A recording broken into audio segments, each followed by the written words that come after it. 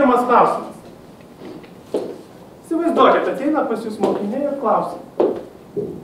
Ar Lietuvai nebūtų geriau, jeigu Lietuva nepriklausytų Europos Sąjungai? Pasirodo aktualus klausimas. Ir jeigu mokiniai yra studijavę istoriją, žino, Šveicarija visą laiką neutrali, puikiai gyvena. Jeigu žino, kad ir Norvegai liktai Europos nepriklauso. Vėlgi sako, pažiūrėkim, kaip Skandinavijos šalis gyvena. Ko dėta ta Europos Sąjunga? Ir atsakinėjant į šitą klausimą, iš tiesų labai lengva jį atsakinėti.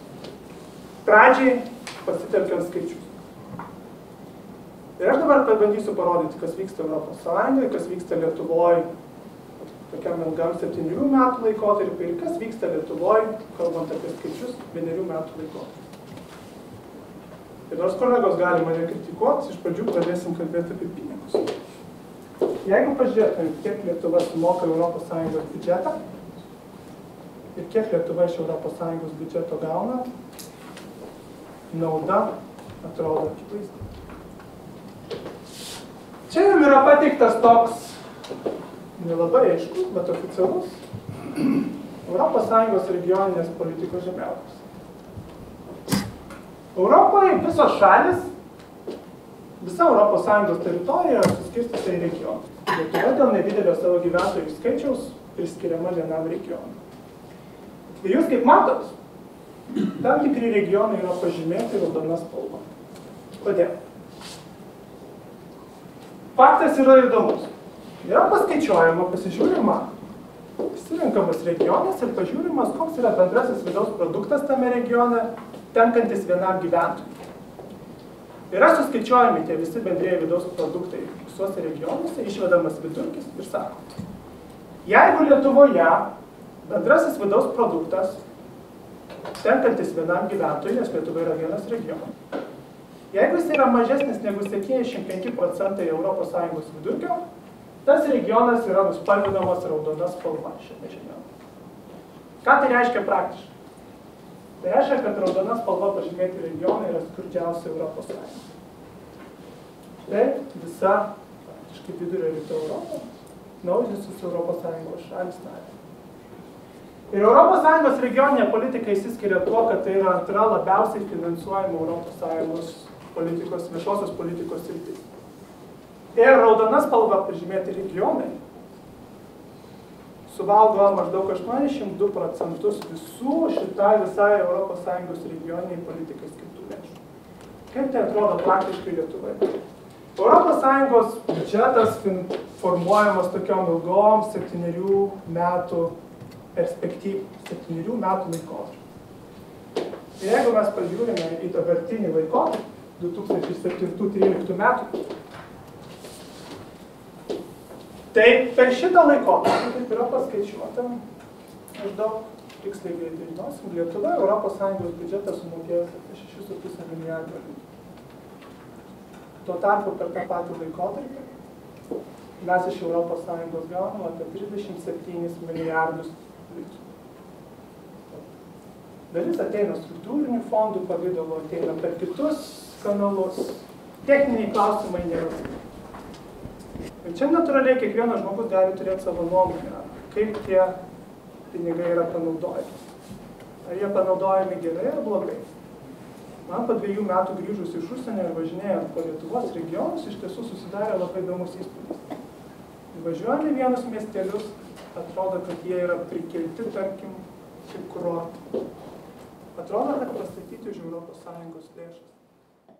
Švietimo centrą naujas blizga važiuojam gatve nauja. Darbo biržos pastatas naujas, programos naujas, viskas renovuota arba dar tik renovuojama. Tuo tarpu nuvažiuojam į kitus, atrodo miestas, na, reikia atvirai išmirti. Nuo ko tai priklauso, čia jau kiti klausimai.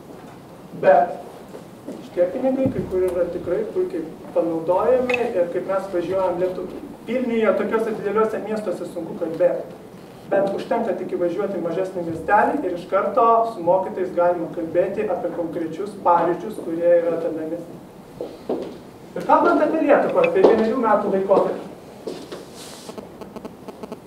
Tai yra mūsų praeitų metų biudžeto valstybės pajamos. Apie 24 milijardai litų. 12 metų mūsų biudžeto pajamos bus yra apie 25 milijardai litų mažas. Europos apskritai Lietuvos biudžetas yra pakankamai sudėtinga struktūra, nes mes turim valstybės, valstybės biudžetą, mes turim savivaldybių biudžetą, sodros biudžetą ir taip toliau. Bet jeigu mes pažiūrėtume į valstybės, grinai, tiksliai šnekant biudžetą, iš visų 24 milijardų litų mūsų pajamų beveik trečdalis yra Sąjungos parama. Tai iš ties galima įsivaizduoti, kas būtų buvę Lietuvoje visų sunkmečio laikotarpių, jeigu mes nebūtume Europos Sąjungos. Bet vėl, esam gavę pastabą. Mes pradedam kalbėti, mes iškart pradedam kalbėti apie pinigus. Ir iš tiesų mokiniams, jie mato tos pavyzdžius, ypač mažesniuose miestuose. Bet mokiniam ne tai tikriausiai. Galbūt daug aktualiau galimybė judėti, galimybė keliauti, galimybė studijuoti. Užtenka, už 50 km nuo Vilniaus yra visiškai kitas režimas. Ir čia iš tiesų galima kalbėti apie daugelį pavyzdžių. Štai keletas. Be Europos Sąjungos nebūtų finansuojamų studijų užsienį. Daug kas yra girdėjęs apie tokią Erasmus programą, pagal kurią kiekvienas aukštosios mokyklos studentas kolegijos ar universiteto turi galimybę dalį studijų laikotarpio praleisti užsienį. Vien tik tai pagal šią programą užsienyje studijavo, tiksliai kalbant, apie 1,7 procento visų Lietuvoje studijuojančių studentų. Bet tai yra viena iš daugelio programų. Maždaug pusė šito skaičiaus studentų atvyko į Lietuvą. Jeigu mes pažiūrėtume dešimties mokslo metų paskutiniųjų laikotarpį, vien tik tai pagal šią programą užsienyje studijavo apie 21 tūkstantis lietuvių. Konkreti programa. Lygiai taip pat be Europos Sąjungos nebūtų laisvų kelionių šiandien erdvėje. Keliaujam į Latviją, nerodom pasų. Keliaujam į Lenkiją, nerodom pasų. Nebūtų galimybės gal, laisvai dirbti kitose Europos Sąjungos šalise. Vieni sako, taip, tai yra puikia galimybė, kiti sako, tai skatina migraciją. Yra visą laiką dvi reiškinio pusės. Galima žiūrėti nebūtų tokio dalyko, kuris kartais keistai skamba laisvo prekių ir paslaugų judėjimo. Bet ką jisai reiškia? Tai reiškia, jeigu mes, bet kuris iš mūsų įkūrėme kažkokią įmonę, pagaminam kažkokį produktą ir to produktu buvo leista prekiauti Lietuvoje, reiškia, tuo produktu turi būti leidžiama prekiauti ir bet kurioje kitoje Sąjungos šalyje. Nebent to šalies institucijos įrodys, kad tas produktas kenkia gyventojų sveikatai ir taip toliau. Na, Na ir asmeninis pavyzdys, kadangi daug iš tiesų mokytojų turi pilietinio ugdymo pamokas. Tiesa? Tai tikrai kalbat apie pilietybę, pilietiškumą ir panašius klausimus. Tai aš dažnai klausdavau, kas yra, dažnai dar klausiu, kas yra Europos Sąjungos, pavyzdžiui, pilietybė. Kas yra Europos Sąjungos tapatybė kas tu esi, ar Europos Sąjungos pilietis, ar Lietuvos pilietis. Aktualus klausimai. Dažnai galvodavau, ar Europos Sąjungos pilietis esi tada, kada aerouoste turi atskirą eilę, kur gali atsistoti prie Sąjungos piliečių, ar čia kaip į Latviją važiuoja ir nereikia parodyti paso. Bet vienas įvykis yra ir viena teisė yra iš tiesų įdomi. Mažai kas žino, bet šiandien Jeigu kitos ES pilietis gyvena Vilniuje ir yra oficialiai užsiregistravęs, jisai gali dalyvauti mūsų savivaldybių rinkimuose. Tai mane iš tiesų bent jau asmeniškai ES piliečių privertė, privertė pasijusti būtent šitą dalyką. Kada gyvendamas Londone, vieną rytą atėjau iš pašto dėžutę savo, pasiėmiau spaudą iš pašto Ir gavau laišką su kvietimu, mano vardu ir pavardę, ateiti ir dalyvauti renkant Londono merą ir Londono asamblėją. Paprasta teisė. apie kurią dažnai tiesiog. Na, bet čia galima kalbėti daug. Galima kalbėti apie finansinius aspektus, galima kalbėti apie kitus aspektus, kurie mokiniams yra iš tiesų aktualūs. Na ir jau čia kitas klausimas. Mokiniai iš tiesų žiūri žinias. Ir jie girdi krizę, sunkmetį. Pasirodo, yra dažnai klausimai. Kodėl Europos Sąjungai tiek laiko nesiseka išspręsti ekonominių sunkumų? Atrodo, tiek skiriama pinigų tokiai mažai šaliai kaip jiems. Atrodo, tokie protingi žmonės. Geriausi ekonomistai pasaulyje. Politikai. Jeigu apie lietuvius blogai Lietuvos politikus atsiliepiama, tai dažnai apie užsienio politikus atsiliepiama. Tai atrodo visos galimybės įspręsti ekonomikos problemas. Ir čia tikriausiai kiekvienas ekonomistas jums galėtų šnekėti ištisas dvi dienas ir visi kalbėtų skirtingai. Ką mes čia pabandėm padaryti, tai krizę paaiškinti kaip keturių elementų visumą. Ar pradėkime. Visi girdėjom vieną dalyką. Vyriausybėms trūksta pinigų. Tiesa? Tiesa. Trūksta pinigų mokėti mokytojams atlyginimus, trūksta pinigų mokėti pensininkams atlyginimus. Trūksta pinigų viskam. Per televiziją girdimo. Ir jeigu mes pažiūrėtume į Lietuvą, į tos pačios Lietuvos biudžetą, Tai Lietuvos skola šiuo metu, valstybės skola, kiek Lietuva yra įsiskolinus, yra apie 40 procentų bendrojo vidaus produkto. Ar tas skaičius sako, kad nors greičiausiai ne, neaišku, čia yra daug ar mažai. Bet jeigu mes pažiūrėtume visas valstybės išlaidas apskritai, kiek viešasis sektorius išleidžia, tai iš visų išlaidų praeitais metais mes savo valstybės skolos padengimui ir aptarnavimui išleidama apie 5 procentus visų išlaidų. Tie 5 procentai, tai kalbant tiksliai, buvo 1,9 milijardo litų, apie 2 milijardus virš 2 milijardų mes išleisime savo skolą ir tarnauti šiais metais. Tai va, faktai, kurie galėjo galbūt būti panaudoti kitiem. Mes mokam palūkanus, mums reikia atlikti kitus visokiausius veiksmus, bet tiesiog ekonominiai dalykai per daug nesigilinti. Tai Lietuvos tie 2 milijardai yra nuo 40 procentų bendrojo vidaus produkto. O jeigu gerai pažiūrėtumėm dabar lietuviams puikiai pažįstame kokią nors Airiją. Airijos skola praeitų metų pabaigoje buvo apie 108 procentai bendrojo vidaus produkto. Portugalijos 108. Italijos 120. Graikijos praeitais metais 165 procentai bendrojo vidaus produkto, šiuo metu apie 175 procentai bendrojo vidaus produkto. Tai tikriausiai galima įsivaizduoti, kas vyksta tose šalyse. Tai natūraliai, kai vyriausybėms trūksta pinigų ir kai susikopia tokios skolos, kokios dabar yra Europoje, rinkos, kad ir ką jomis vadintumėm, pradeda nerimauti, kad šalis bankrutuos.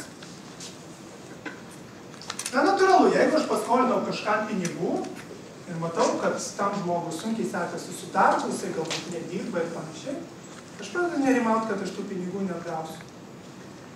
Ir kai aš pradedu nerimauti, ir mokyklose, ir įmonėse dažnai veikla vykdoma projektų pagrindu. Turima idėja, pavyko gauti finansavimą, yra samdomas žmogus tą idėją įgyvendinti, projektas vyksta tas projektas gali atnešti gražą, gali sukurti socialinę didelę vertę. Bet jeigu niekas nenori skolinti ir investuoti, net ir ekonomiškai atsiperkantį projektą, kas atsitinka? Tas projektas yra nutraukiamas ir veikla netesama. Tai niekas nenori skolinti investuoti. Ekonomika nepradeda aukti, jinai smuka, Vyriausybės nesurenka mokesčių ir mes atsiduriam užburtam rate. Vyriausybėms trūksta pinigų, rinkos nerimauja, kad šalis bankrutuos, niekas nenori skolinti investuoti, ekonomika nepradeda aukti. Ir vėl vyriausybėms trūksta pinigų. Natūraliai gali kilti klausimas. Pirmas. Tai kodėl vyriausybėms trūksta pinigų? Tai Graikijos atveju Atsakymas tikriausiai labai paprastas. Kai ilgą laiką gyvenama ne pagal išgalės, tai galiausiai pinigų pritrūksta. Nes galiausiai niekas nenori skolinti. Bet jeigu pažiūrėtum į Airiją, aš minėjau, kad Airijos skola yra apie 108, tai sakykime 110 procentų bendrojo vidaus produkto. Prieš krizę buvo apie 25 procentų 2007 metais. Ir nežinia, ar apie Lietuvą bus, apie Lietuvos krizę bus rašomi vadovėliai, bet apie, apie Airijos atvejį jau dabar studentai mokosi iš vadovėlių, kuriuose įvertintas Airijos pavyzdys. O ta skola išaugo tiek dėl to, kad vyriausybė prieėmė sprendimą, nepasigilinusi, kas vyksta jų bankų sektorėje, prieėmė sprendimą garantuoti visus bankų įsiskolinimus. Ir tokiu būdu praktiškai per vieną naktį privataus sektoriaus skola tapo visos valstybės ir visų gyventojų skola. Taigi priežastis yra įvairios. Ir antras susijęs klausimas ir iš karto. Tai jeigu mes dabar duotumėm didelę sumą pinigų tom šalim, ar problemą išspręstų? Tai atsakymas yra sudėtingas, bet tikriausiai kaip patys supranta, tai problemos greičiausiai neįspręstų, nes reikia daryti ir tam tikrus kitus veiksmus. Ir per daug nelendant ekonominės subtilybės, tiesiog šiandien situacija yra tokia, kad ir ką koks nors graikas vidutiniškai pagamintų, tas daiktas vidutiniškai kainuoja brangiau negu vokiečio pagamintas daiktas. Tai natūraliai, iš ko šalis gali uždirbti ir gražinti savo skolą. Kodėl tai vyko, jau čia yra ekonominiai dalykai, bet apskritai kalbant apie krizę, ją galima gan paprastai aiškinti kaip keturių elementų visumą. Ir iš tiesų iš to rato dėl daugelio priežasčių išlipti yra sudėtinga. Ir kai mokiniai prisiklauso tokių dalykų, krizė nesibaigs, krizė vyksta, čia Europos Sąjunga žlugs. Kitas klausimas pasirodo. Tai ką mokytis apie Europos Sąjungą, jeigu dėl krizės jinai subirės? Ar yra klausimų tokio klausimą? Kol kas ne. Kiti sakė mokytojai, kad taip, taip, čia sakė, čia sakė geras klausimas. Tai atsakinėjant į jį, iš tiesų, reikia turėti galvoj vieną dalyką. Labai paprastą. Europos Sąjunga nėra lygu euras. Ir mes dažnai pažįst, pamirštam tokį dalyką, kad euras kaip valiuta, kurią mes galim pačiupinėti, pasirodė tik 2002 metais. Europos Sąjunga, kada mes oficialiai padavėm paraišką stot, daug anksčiau, tai yra 95 metais. Tai mes stojom Europos Sąjungą, kuri dar net neturėjo euro. Tai jeigu ir kas nors atsitiktų, Na, o čia mano subjektyvia nuomonė, jeigu atsitiks, tai gali viena šalis pasitraukti, tai, tai nebūtinai euras kitos. Tai net jeigu ir kažkas atsitiktų dabartiniai eurozonai, jinai sumažėtų ir panašiai, tai jokių būdų nereiškia, kad kažkas atsitiks ir Europos Sąjungai. Taip, ekonominė ir pinigų sąjunga ir euras yra labai svarbus dalykas ekonomikos funkcionavimui ir taip toliau, bet tai nereiškia, kad be jo nebūtų Europos Sąjunga. Na ir šiek tiek baigius, bebaigiant apie ekonominius klausimus, kitas labai aktualus. Per šio klausimo jūsų yra kas nors klausęs. Ar Lietuvai reikia euro?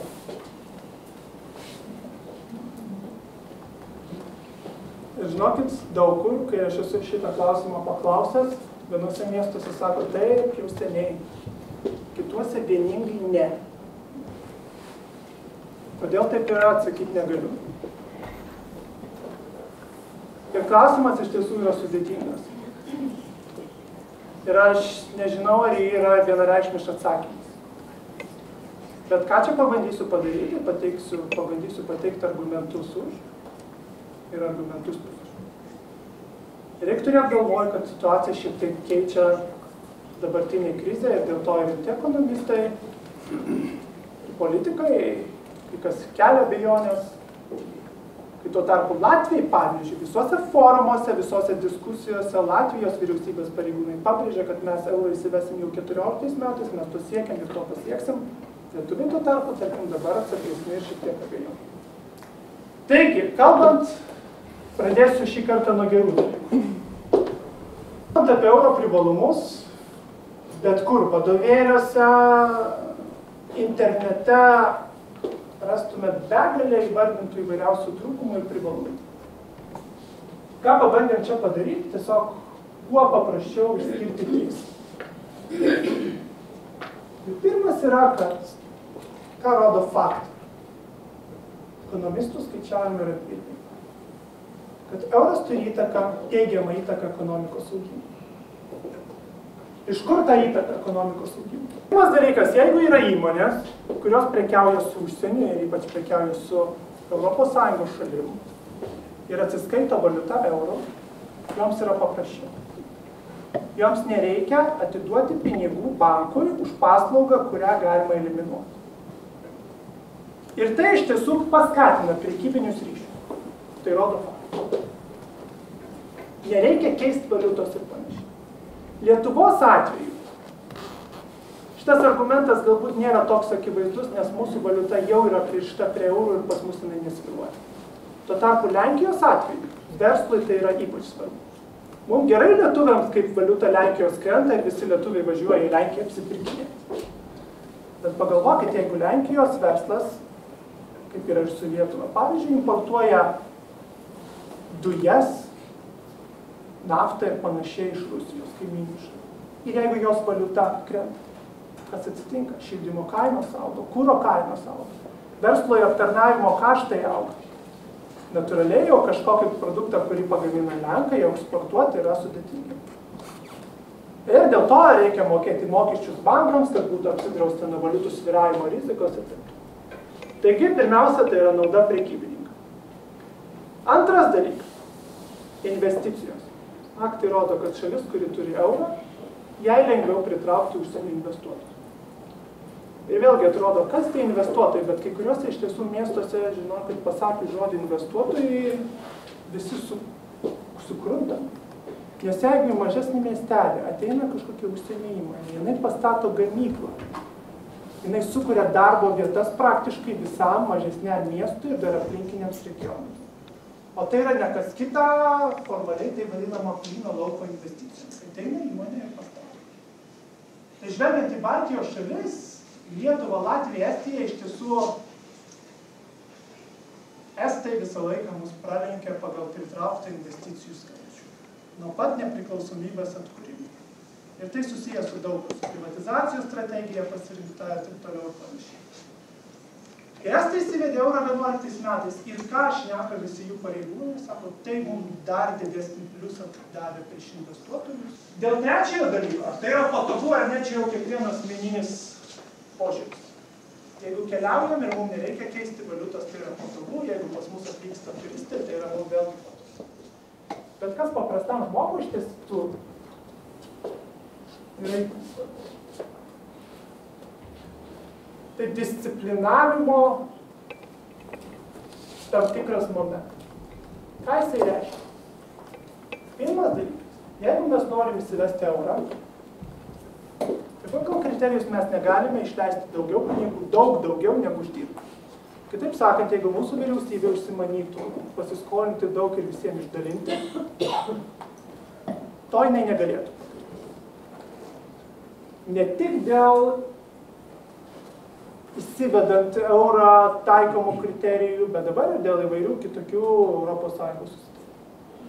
Na, jauniems žmonėms tai skirtai turėtų būti itin aktu. Nes ta skola, kur yra dabar, tai gražins jauni žmonės. Antras dalykas, kas mums yra svarbiausia, kai mes nueinam iš tiesų į parduotuvę bet kurią. Kad kainos nesikeistų. Ir norint įsivesti eurą, yra taikomas kainų stabilumo kriterijus. Ir mes vieną kartą jau euro dėl to neįsivedėm. Nes viršėjom šį kriterijų 0,01 procentų. O kaip yra daroma? Yra išsirenkamos trys ES šalis, kuriuose kainos auga mažiausiai, gali ir kristi ir panašiai. Išvedamas vidurkis ir sakomas. Ir sako, jei Lietuva nori įsivesti eurą, tai kainos Lietuvoje negali aukti greičiau negu tas vidurkis ir prie jo dar pridėjus 1,5 procentų. Šiuo metu kainos pas mus auga gerokai greičiau. Na, apskritai, nesijant šito klausimo su euro, šiaip yra laikoma pagal Europos centrinį banką, kad kainos yra stabilios, jeigu jos auga ne greičiau negu 2 procentai. A, kaip suprantat, pas mus dabar auga gerokai. Trečias dalykas. Ką rodo praktika vėl? Šalis, kuri turi eurą, to šalies gyventojai pigiau skolinasi. Nežiūrint į krizės, visus padarinius ir taip toliau. Tai yra pigiau mums kiekvienam pasimti paskolą būstui, įmonėm pigiau pasimti paskolą ir investuoti.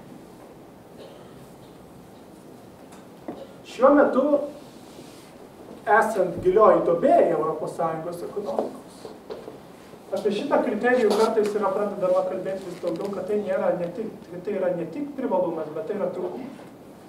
Nes kai šalis gali labai daug ir pigiai skolintis, tai dažniausiai baigiam taip, kaip dabar yra pietų Europos šalyse. Na, bet čia jau yra valstybės institucijų įvairiausi instrumentai, ką su tuo daryti. Bet kalbant apie paprastą žmogų, tai iš tiesų stabilios kainos, pigus skolinimasis ir valstybės vykdoma gera ir prognozuojama politika, kuri veda į teigiamą įtaką, kuri duoda įtaką ekonomikos augimui, ne tik dėl eksporto ir įmonių ir apskritai dėl investicijų pritraukimo, bet ir dėl įvairiausių kitokių veiksmų. Bet vėlgi, kriziniai situacijai situacija šiek tiek keičiasi. Ir dabar daug kas yra girdėję, kad vargšai estai turi gelbėti turtingus graikus. Girdėjo šitą pasakymą. Ar tai iš tiesų?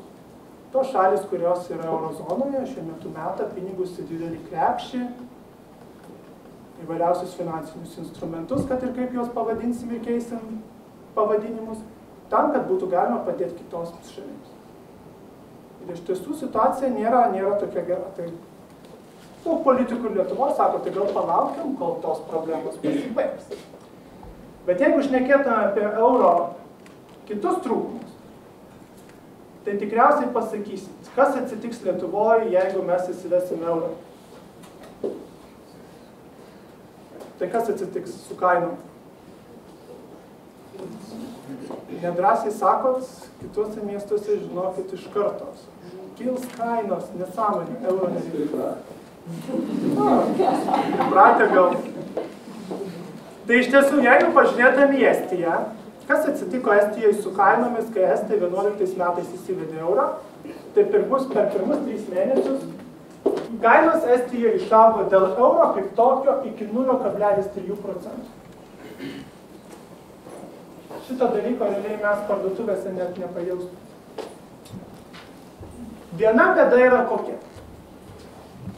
Skaičiuojant statistiškai, žiūrint iš ekonomistų perspektyvos, yra labai sunku atskirti, ar kainos auga dėl euro kaip įvedimo tokio fakto, ar dėl kitų dalykų. Pavyzdžiui, nafta brangsta ir dujos brangsta. Natūraliai tada ir transportavimas maisto produktų brangsta, ir parduotuvių šildymas brangsta, ir taip toliau ir panašiai, ir kainos auga dėl to. Ir iš tiesų labai sunku atskirti, kokią įtaką. Bet jeigu pasitikėtumėm protingai žmonėm, kurie su to dirba visą gyvenimą ir skaičiuoja, tai yra skaičiuojama, kad dėl euro kaip tokio kainos išaugo tik tai iki 0,3. Bet vėlgi ką rodo tyrimai? Čia yra vidurkis.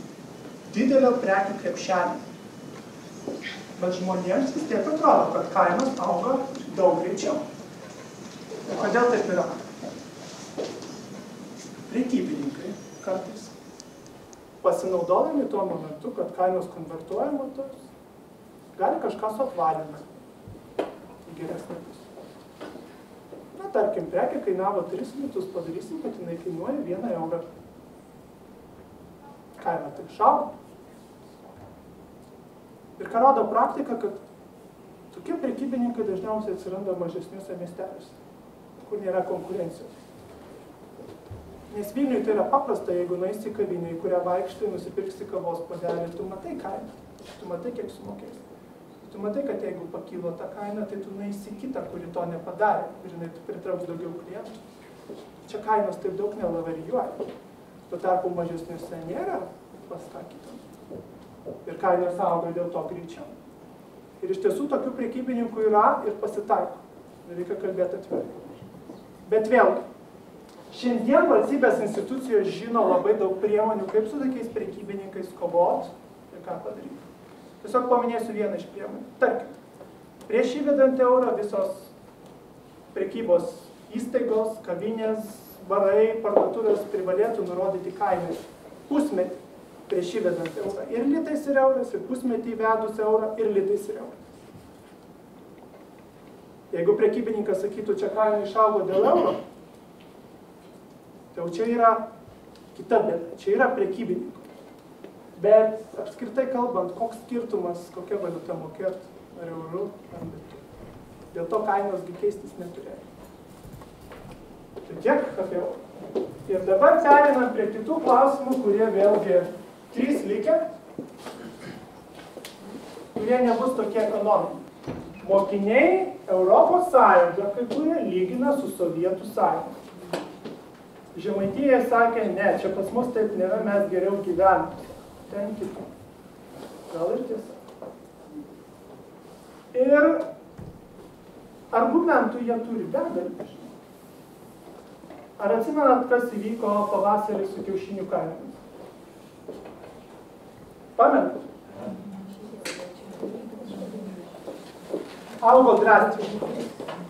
Ar žinot, dėl ko kiaušinių kainos augo? Ar teko girdėti kam nors? Tai dėl, dėl ko? Tai yra įdomus dalykas.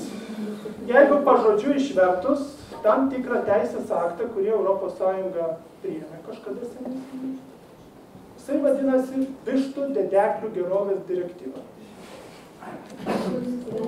Ir dar prieš įstojant Lietuvą Europos Sąjungą, direktyva buvo priimta. Ir buvo nuspręsta. Nesu paukštininkas, tai nežinau visų subtilybių. Jeigu Lietuvoje vienam narvelį gyveno tam tikrų išmatavimų 18 vištų, tenka padaryti, kad 16 gyventum. Įrengti gūštas, laktas ir panašiai. Ir kad įgyvendinti tą sprendimą buvo duotas ilgas, ilgas, nepamenu kiek tiksliai, bet apie dešimties metų laikotarpio terminas. Tai natūraliai tie narveliai nusidėvi ir panašiai, kai keiti tiesiog sako, padarykite didesnį. Bet kas atsitiko? Tai lietuviai tą direktyvą berots įgyvendino dešimtais metais.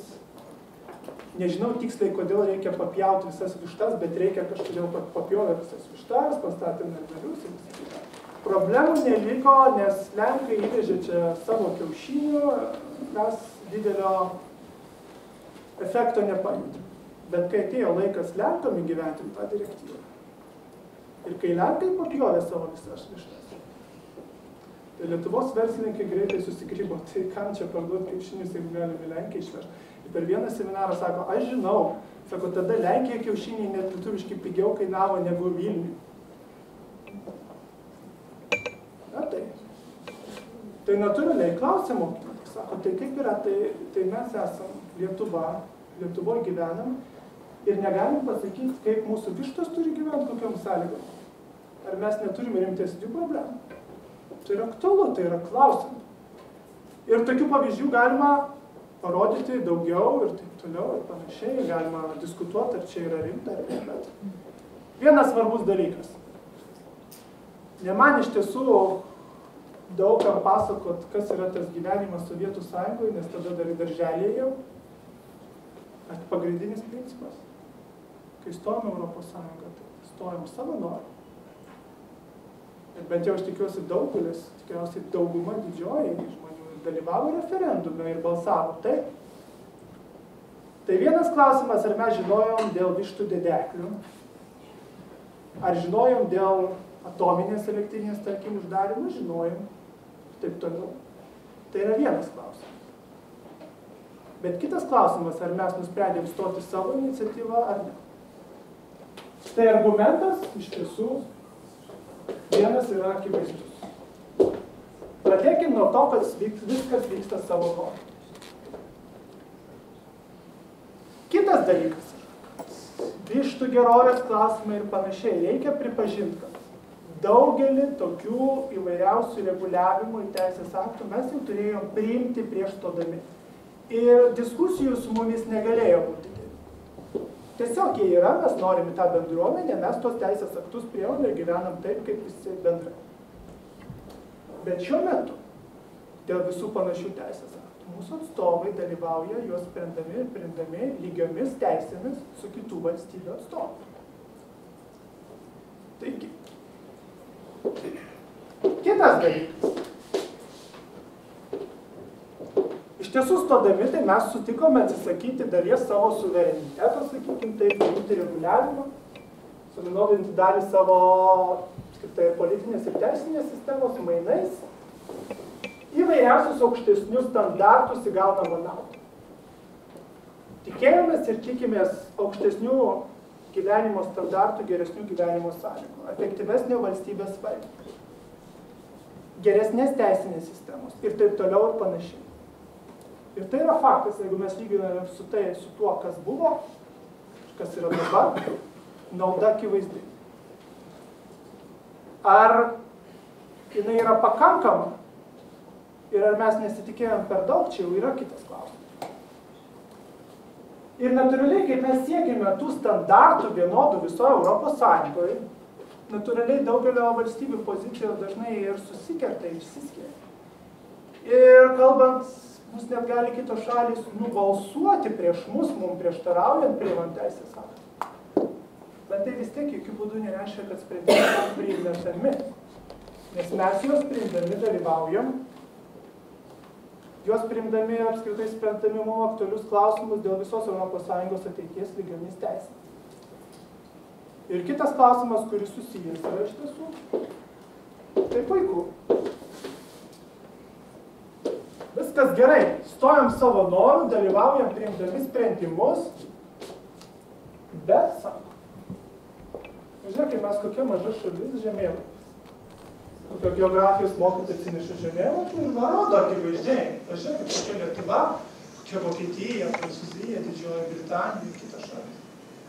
Tai Lietuva neturi jokios įtakos. Na ir kas, kad demokratiškai tai nubalsuos? Ir mes jums vėliau uždarysim tokius žemėlapius. Vienas bus Europos Sąjungos žemėlapis, kitas bus institucijų. Žemėlapis institucijų struktūra. Kaip tikriausiai žinote, Europos Sąjungoje yra trys pagrindinės institucijos, kurios sudaro taip vadinamą institucinį trikampį. Europos komisija, Europos Sąjungos taryba, kuris yra ministrų susitikimas, ministrų forumas ir Europos parlamentas. Tai jeigu mes pažiūrėtumėm į mūsų tą ministrų susitikimą, tai Lietuva tenai turi pagal dabartinės balsų skaičiavimo taisyklės, kurios greitų metų keisis, nesigilinkime, tai žemėlapį ten bus kai kas apie tai surašyta. Lietuva ten turi septynis balsus iš 345. Vokiečiai turi 29 galim galvoti, kad mes čia turim didelį įtaką. Bet 7 iš 340. Europos parlamente šiuo metu iš 754 narių žemėlapį bus kitas skaičius dėl to, kad tiesiog viskas greitai pasikeis. Mes turim 12 europarlamentarų. Tai vokiečiai kokie turi 99 šiuo metu. Kai kur dar išgirstų repliką, sako, ir kokių dar tai galim galvoti, čia mūsų ta įtaka maža. Bet iš tiesų, jeigu pašnekėtumėm su diplomatais, tai žmonėm, kurie dirba, dalyvauja tam sprendimų prieimimo procese, tai daug kas, ypač kai kurie užsieniečiai sako, Lietuva kaip maža šalis kartais turi neproporcingai didelį įtaką.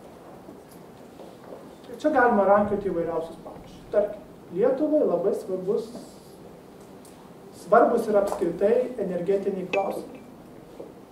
Na, mes už dujas šiandien mokam brangiausiai Europoje, reikia pripažinti. Kažkodėl brangiau negu vokiečiai. Mes viską importuojam iš, iš savo kaimynų didelių šalia. Ir natūraliai, jeigu mums kartais su tais kaimynais nesiseka susikalbėti, ką mes tengiamės daryti, mes tengiamės tą klausimą, kur mes nesugebam susitarti.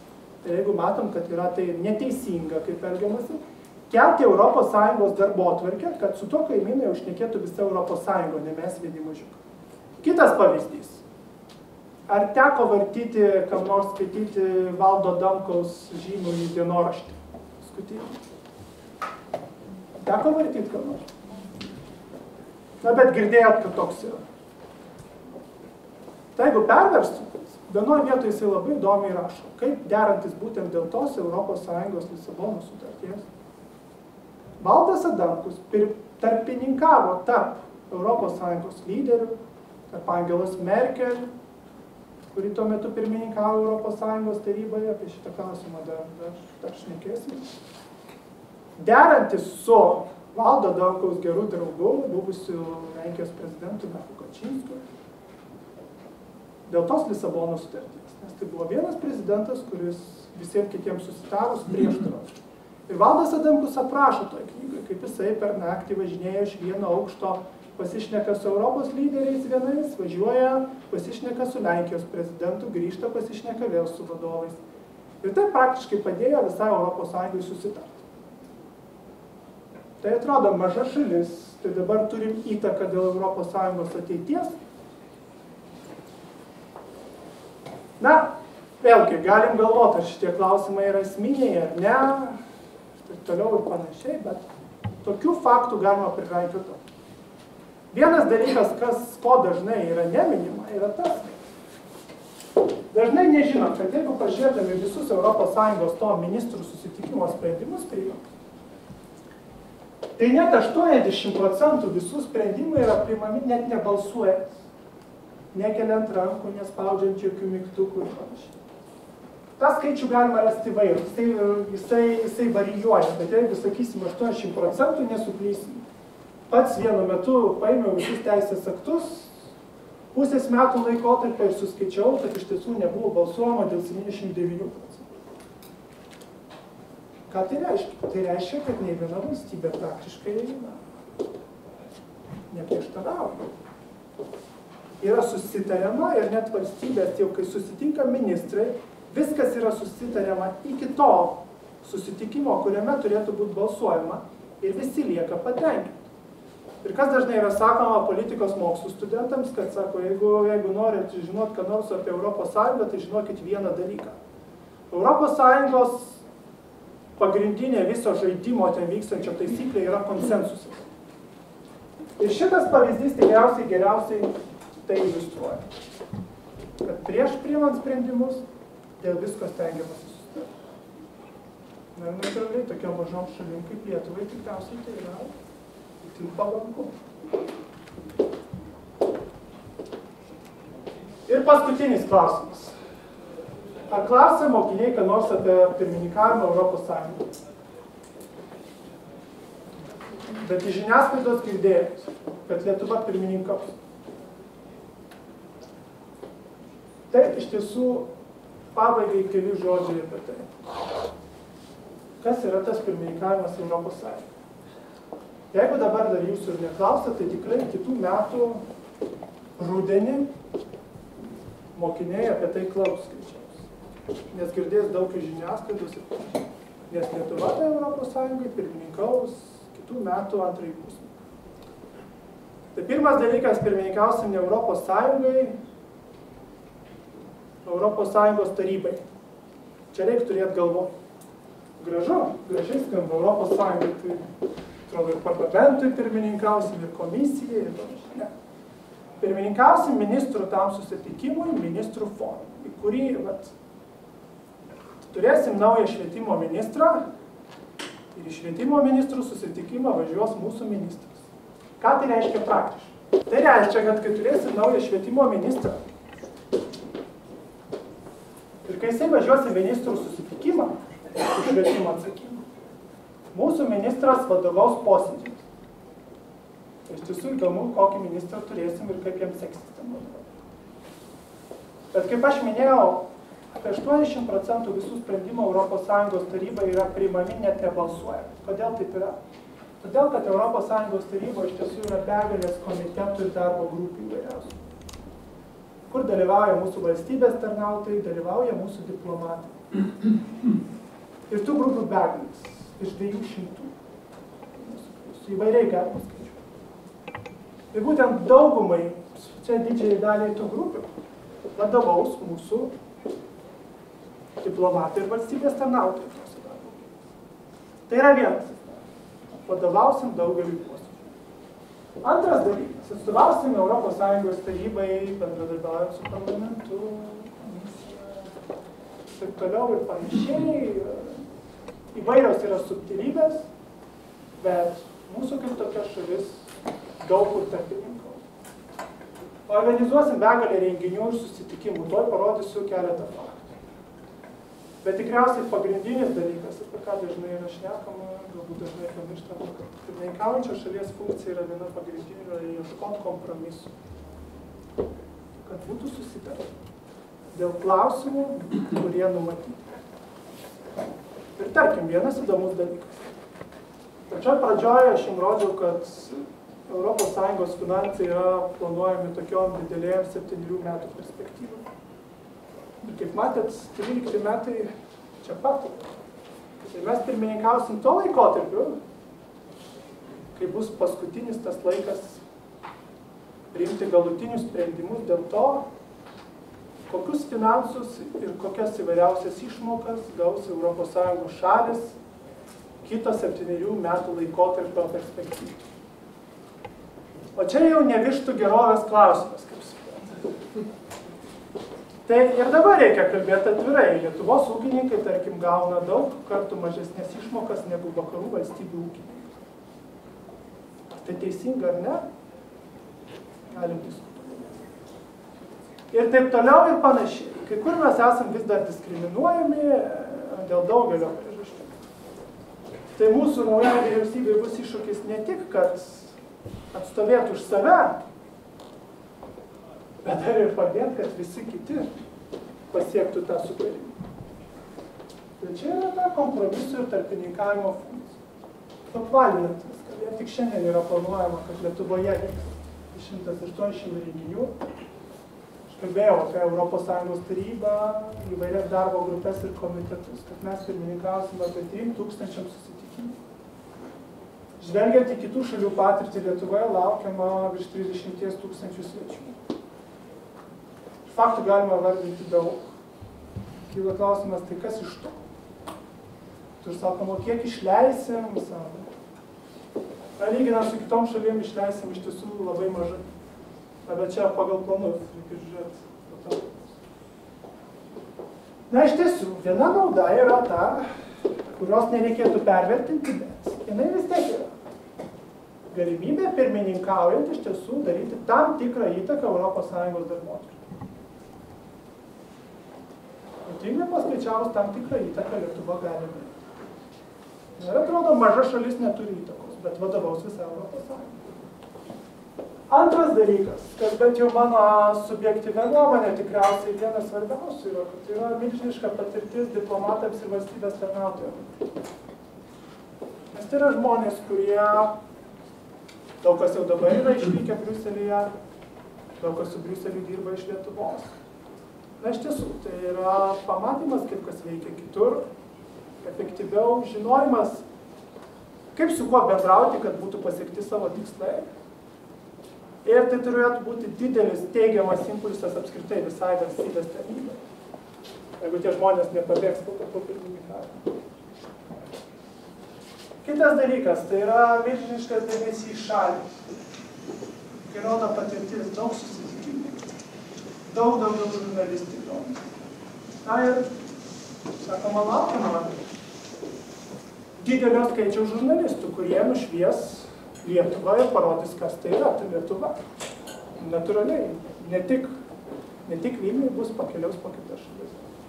Na, o iš to tikriausiai natūraliai kyla tam tikra ekonominė nauda iš svečių srauto ir didesnio žinomumo.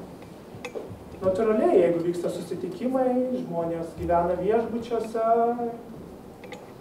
keliauja po Lietuvą kaip turistai, palieka savo pinigus. Tai yra pinigų šaltinis paslaugų sektoriaus apskritai darbuotojų. Kitas per krepšinį čempionatą. Na, nežinau. Tai toj parodysiu kitą skaičių. Bet krepšinio čempionatas tai tik tai kelių savaičių įvykis, o ten, jau kaip žinot, pusmečio, pusmečio laikotarpis didelis, tai, tai gal ne. Na, o jeigu nušviesta šalis yra teigiamai, tai vėlgi galim grįžti prie tam tikrų teigiamų, kaip mes kalbėjome, euro aspektų. Tai yra investicijos, investuotojai kažkur pamato Lietuvą, susidomė, ateina ir taip toliau ir panašiai, ir galima šnekėti apie daug ką, matysim, kas bus po, po to pirmininkavimo. Bet bent jau kaip yra dabar skaičiuojama, nežinau, kiek tas skaičius tikslus, bet bent jau dabar yra skaičiuojama, kad vien dėl to pusmečio laikotarpio, vien dėl to, kad mes pirmininkausim, mūsų bendrasis vidaus produktas turėtų aukti pusę procento greičiau. Na, ar tai kiekvienas iš mūsų pajusim, čia jau kitas klausimas yra, bet makro lygių šnekant tai yra gerai. Tai tiek trumpai apie pagrindinius klausimus ir jeigu turit kitų, tai esu pasiruošęs atsakyti, kažką patikslinti.